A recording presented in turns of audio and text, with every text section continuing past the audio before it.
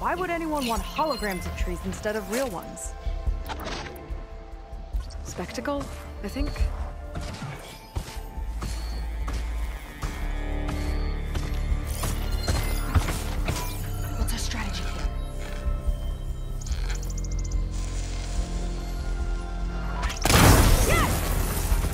Give it a rest first till I get my stamina.